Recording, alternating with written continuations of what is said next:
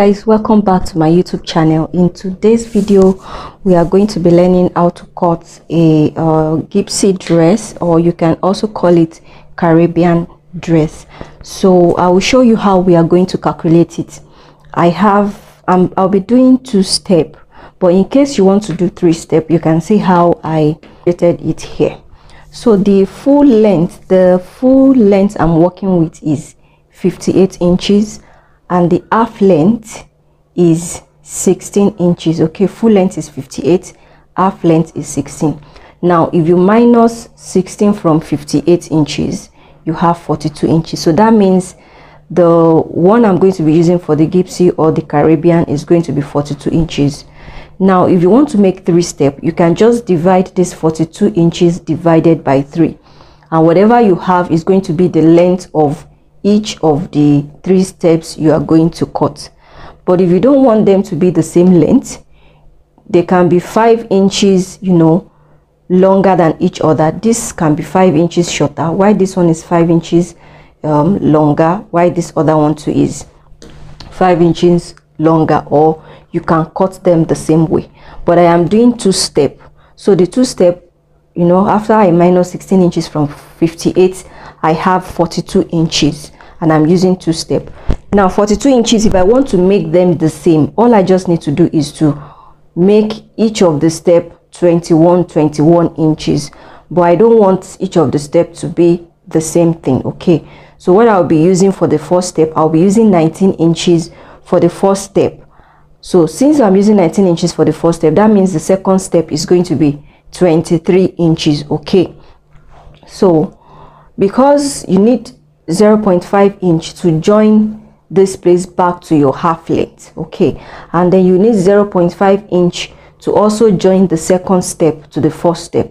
That makes it one inch. So i'm going to be adding one inch to the 19 inches i have here and i have 20 inches okay? So the second one is 23 inches.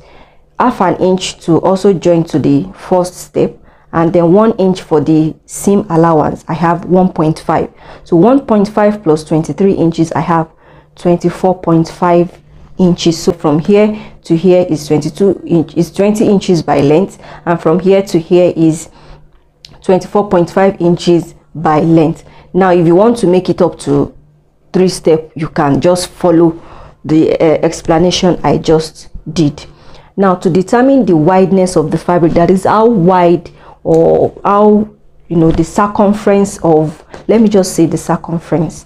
So to, to determine the circumference of the fabric all you need to do is measure your hip okay? So for the first step you are going to multiply your hip into two okay? The hip i'm working with is 43 inches okay?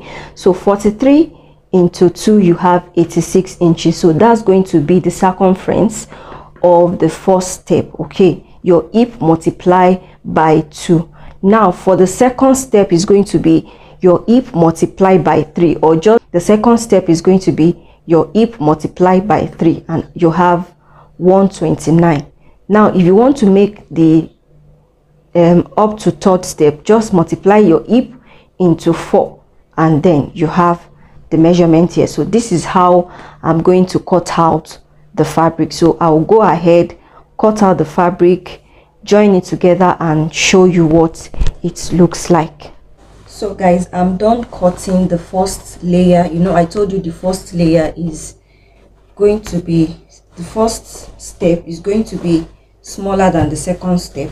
So what i did was to gather the first layer. I gathered the top of it okay? Because the top here is where i'm going to be attaching to the half scale because I'm making a gown. So this gathered side here is where I'll be adding to the half scale. So I only gathered the top side here. Now the lower part of it I did not gather the lower part of it. Okay I left it the way it is. Now the second step I gathered the upper part of it while I hem the lower part of it. So the upper part of it I gathered it. And also when you gather it make sure that you have the same measurement you have here at the first step the lower part of the first step. The measurement you have here when you gather this place make sure you have the same measurement so that it can go around and then you stitch it down just like I did now. I have stitched I have stitched it down now. You can see this is what it looks like. And then I closed up the back. I closed up the back then I'll go and join it to the to the top to the half scale I'll join it to the half scale bodice and then show you what it looks like so that you have more understanding of what I have explained so far. So guys, thanks for watching this video to the end and I hope you enjoyed this tutorial. If you do so, kindly like and share this video. Also subscribe to our channel if you haven't done so. Click on the notification bell so that you get notified each time I post a new video. I'll see you guys in my next video. Bye.